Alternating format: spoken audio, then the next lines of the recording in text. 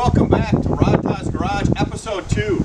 Well, as you can see, we're taking apart the 84 Silverado. Remember, the 84 Silverado found in a field out in West Texas.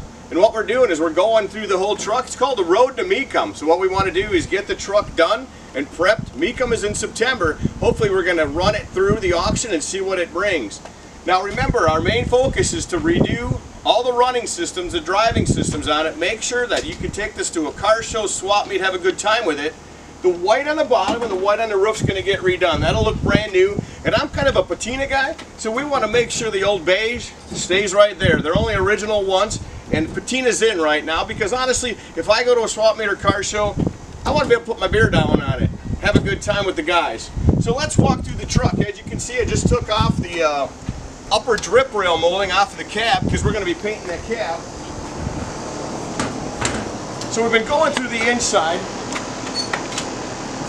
Inside is really, really ratty, but we've got new carpeting coming. We've got brand new seat. We're going to change it out to cloth. We've got a brand new headliner, brand new dash pad, brand new dash insert. Inside's going to look like brand new. As we walk around the truck, you know you guys watch Velocity, you watch Motor Trend TV, and what's the most important thing when you're taking apart a truck like this is organization. Any car or any truck, you want to make sure that you've got all your nuts and bolts in the proper spot. So what's an easier way to do that?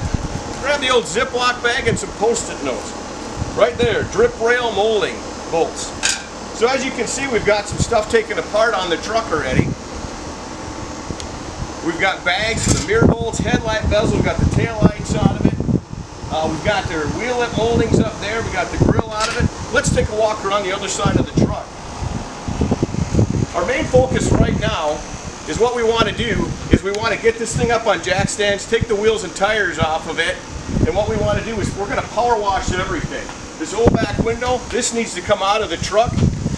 Somebody put a piece of plexiglass, possibly out of a fish tank in it. That needs to come out. We got a brand new sliding back window. We've already got the door panel off of it. And we're going to go back with the original wheels and tires on this. We're going to use the GM rail wheels. Classic look, whether it's on the old 60s and 70s muscle cars. These square body wheels, everybody loves these square body wheels. We got a brand new set of white letter tires going on it. This side, we we made some a lot of progress on already mirrors off it, drip rail moldings off of it. We had some body side moldings that were peeling off of it. Wheel lip moldings are off. And as we walk around the front, we've already got the grill and the headlights out of it. We need to straighten up that front bumper. That front bumper is going to end up coming off also. So I want to thank you for watching. Tune in next time. Rodd Todd's Garage, Road to Mecum on the 84 Silverado. Thank you and have a great day.